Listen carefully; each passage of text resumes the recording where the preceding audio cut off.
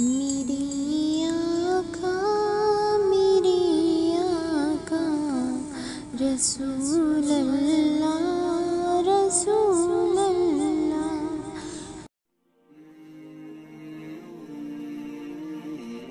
السلام علیکم۔ صحابیات کا عشق رسول صلی اللہ علیہ وسلم۔ عشق رسول میں صحابیات رضی اللہ عنہ نے بھی اعلیٰ اور نمایاں مثالیں پیش کی ہے ان کے سینے عشق نبی سے بھرے ہوئے تھے۔ کچھ مثالیں آپ کے سامنے پیش کرتی ہوں۔ جنگ احد میں یہ خبر چاروں طرف پھیل گئی تھی کہ نبی اکرم صلی اللہ علیہ وسلم شہید ہو گئے۔ مدینے میں عورتیں غم کی شدت میں روتی ہوئی گھروں سے باہر نکل آئی ایک انصاریہ صحابیہ کہنے لگی کہ میں اس بات کو اس وقت تک تسلیم نہیں کروں گی جب تک خود اس کی تصدیق نہ کر لوں۔ لہٰذا وہ اونٹ پر سوار ہو کر عہد کی طرف نکل پڑی۔ جب میدان جنگ کے قریب پہنچی تو ایک صحابی سامنے سے آتے ہوئے دکھائی دیے۔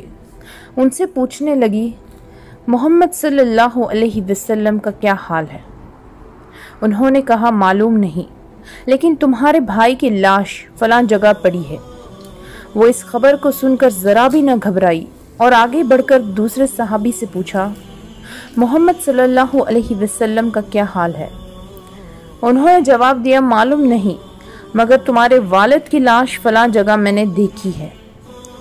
یہ خبر سن کر بھی پریشان نہیں ہوئی، بلکہ آگے بڑھ کر تیسرے صحابی سے پوچھا، محمد صلی اللہ علیہ وسلم کا کیا حال ہے؟ انہوں نے بتایا کہ میں نے تمہارے شوہر کی لاش فلاں جگہ پڑی دیکھی ہے۔ یہ خبر سن کر بھی وہ ٹس سے مس نہ ہوئی۔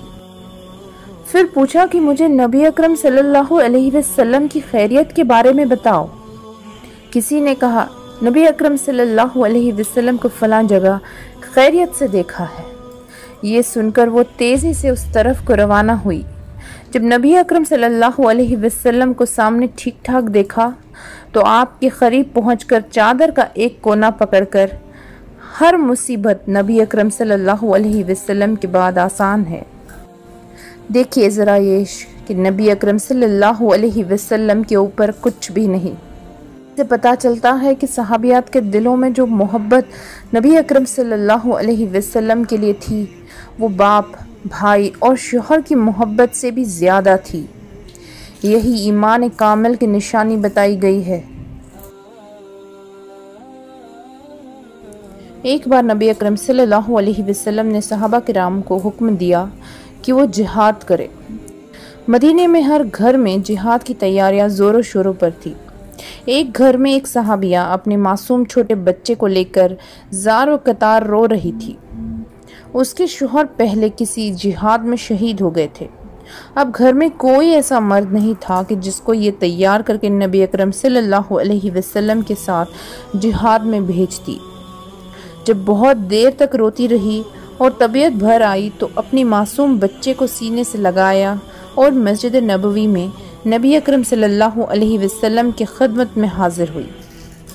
اپنے بیٹے کو نبی اکرم صلی اللہ علیہ وسلم کی گود میں ڈال کر کہا، اے اللہ کے رسول میرے بیٹے کو بھی جہاد کے لیے قبول فرمائے۔ نبی اکرم صلی اللہ علیہ وسلم نے حیران ہو کر فرمایا، یہ معصوم بچہ جہاد میں کیسے جا سکتا ہے؟ وہ رو کر کہنے لگی کہ میرے گھر میں کوئی بڑا مرد نہیں، جس کو میں بھیج سکوں۔ آپ اسی کو کسی مجاہد کے حوالے کر دیجیے، جس کے ہاتھ میں ڈھال نہ ہو تاکہ جب تک مجاہد کفار کے سامنے مقابلے کے لیے جائے اور کافر تیروں کی بارش برسائے، تو وہ مجاہد تیروں سے بچنے کے لیے میرے بیٹے کو آگے کرتے ہیں۔ میرا بیٹا تیروں کو روکنے کے کام آ سکتا ہے۔ سبحان اللہ۔ تاریخ انسانیت ایسی مثال پیش نہیں کر سکتی کہ عورت اور ماں جیسی شفیق ہستی فرمانے۔ نبی کو سن کر اس پر عمل کرنے کے لیے اتنی بے قرار ہوئی کہ معصوم بچے کو شہادت کے لیے پیش کر دی ہے۔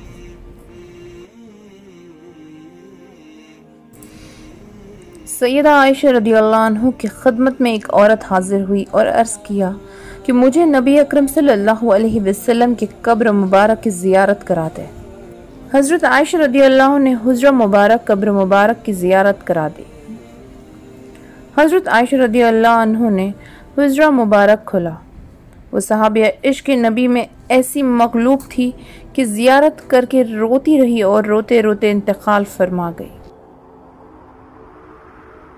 ام المومنین ام حبیبہ رضی اللہ عنہ کے والد ابو سفیان صلاح حدیبیہ کے زمانے میں مدینہ آئے۔ اپنی بیٹی سے ملنے گئے۔ قریب پڑے بستر پر بیٹھنے لگے تو ام حبیبہ نے جلدی سے بستر الٹ دیا۔ ابو سفیان نے پوچھا، بیٹی مہمان کے آنے پر بستر بچھاتے ہیں، بستر لپیٹتے تو نہیں۔ ام حبیبہ نے کہا، ابا جان، یہ بستر اللہ کے پیارے اور پاک محبوب کا ہے۔ اور آپ مشرق ہونے کی وجہ سے ناپاک ہے لہٰذا اس بستر پر نہیں بیٹھ سکتے۔ ابو سفیان کو اس کا بڑا رنج ہوا، مگر ام حبیبہ کے دل میں جو محبت اور عظمت اللہ کے رسول صلی اللہ علیہ وسلم کی تھی، اس کے سامنے جسمانی رشتے کوئی حیثیت نہیں رکھتے تھے۔ قربان جائے ان کے پیارے عمل پر۔ کہ فیصلہ کر لیا کہ باپ چھوٹتا ہے تو چھوٹ جائے، مگر محبوب کا دامن ہاتھ سے نہ چھوٹنے پائے۔ ایک صحابی ربیہ اسلمی بہت غریب نوجوان تھے۔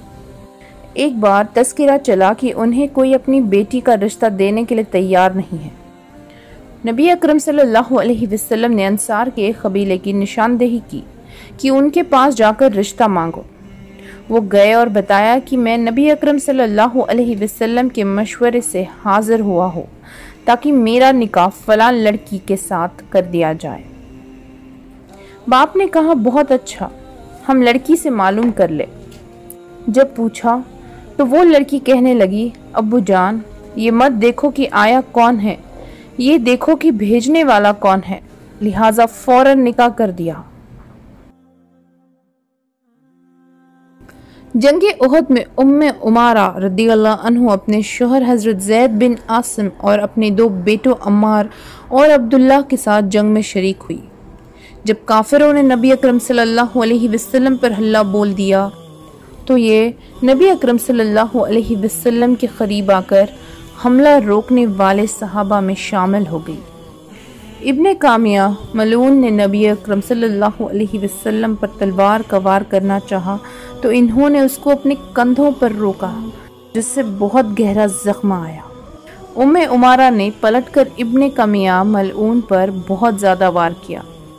قریب تھا کہ وہ دو ٹکڑے ہو جاتا، مگر اس نے دو جرہیں پہن رکھی تھی، لہٰذا بچ نکلا۔ ام عمارہ کے سر اور جسم پر تیرہ زخم لگے۔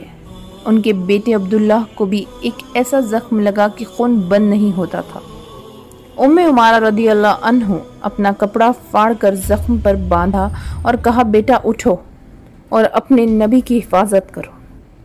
اتنے میں وہ کافر جس نے زخم لگایا تھا پھر قریب آیا۔ نبی اکرم صلی اللہ علیہ وسلم نے فرمایا کہ تیرے بیٹے کو زخمی کرنے والا یہ کافر ہے۔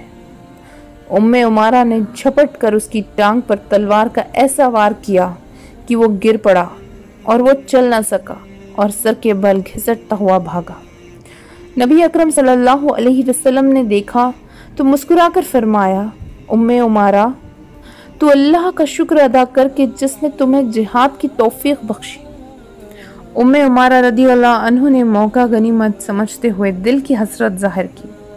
کہ اے نبی صلی اللہ علیہ وسلم، آپ دعا فرمائے کہ ہم لوگوں کو جنت میں آپ کی خدمت گزاری کا موقع مل جائے۔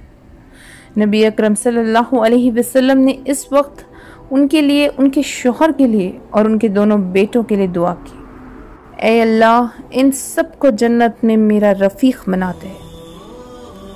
ام عمارہ رضی اللہ عنہ، زندگی بھر یہ بات اعلان کے ساتھ کرتی تھی کہ نبی اکرم صلی اللہ علیہ وسلم کے دعا کے بعد دنیا کی بڑی سے بڑی مصیبت بھی کوئی حیثیت نہیں رکھتی۔ فاطمہ بنت کیس ایک حسین و جمیل صحابیہ تھی۔ ان کے لیے عبد الرحمن بن اوف جیسے دولت مند صحابی کا رشتہ آیا۔ جب انہوں نے نبی اکرم صلی اللہ علیہ وسلم سے مشورہ کیا تو آپ نے فرمایا کہ اسامہ سے نکاح کر لو۔ حضرت فاطمہ نے آپ کو اپنی قسمت کا مالک بنا دیا اور عرض کیا، اے رسول اللہ، میرا معاملہ آپ کے اختیار میں ہے، جس سے چاہے نکاح کر دے۔ یعنی میرے لیے یہی خوشی کافی ہے کہ آپ کے ہاتھوں سے میرا نکاح ہوگا۔ آپ سے درخواست ہے کہ یہ ویڈیو اگر آپ کو پسند آئے تو اس کو بے شک آپ لائک نہ کیجیے، پر شیئر ضرور کیجیے تاکہ ہر مسلمان بھائی بہن اپنے دین کے علم میں معلومات بڑھا سکے۔